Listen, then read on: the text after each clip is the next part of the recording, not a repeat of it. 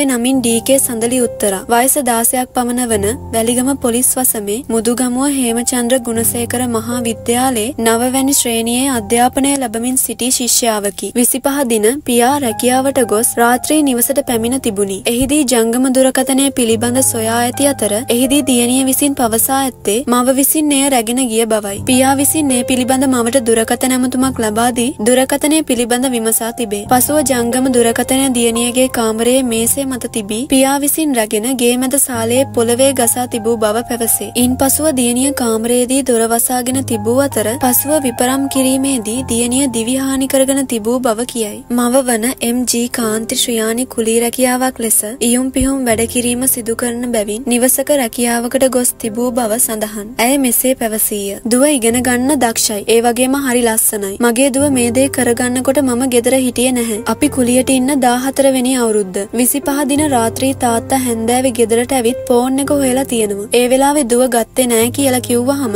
මට කෝල් කරලා ඇහුවා මම ගත්තද කියලා. කිව්වා මම ගත්තේ නැහැ කියලා. පසුව ෆෝන් එක දුවගේ කාමරේ තිබිලා අරගෙන සාලේ පොළවේ ගහලා විසි කරලා දාලා. එයාට වැඩක් නැති වැඩක් කරලා තියෙන්නේ. මෙහෙම දෙයක් වෙන බව දන්නවනම් මම කියනවා ෆෝන් එක අරගෙන ගියා කියලා. තාත්තා ගහනවා මටත් ගහලා තියෙනවා. අතපය කඩලා දාලා තියෙනවා. මදාවියෙක් එක්ක තමයි ජීවත් වුනේ දරුවෝ තුන්දෙනා වෙනුවෙන්. අම්මේ යනවා කියලා කිව්වනම් මමත් එයත් එක්ක යනවා. තාත්තගේ පීඩනය නිසා තමයි මෙහෙම දෙයක් වුණේ. මේ දරුවා කවදාවත් පන්ති කොහෙවත් යන්නේ නැහැ. ගෙදර හිර කරගෙන හිටිය දරුවෙක්. එයා ගැන කිසිම සැකයක් තිබුණේ නැහැ. පසුගිය දවස්වල කන්නේත් නැතුව හිටියා. ඒවට වග කියන්න ඕනේ මේ පාලකයෝ. මේ සම්බන්ධයෙන් වැලිගම පොලිසිය ස්ථානාධිපති උපුල් කුමාර මහතාගේ උපදෙස් මත පරීක්ෂණ මෙහෙවති.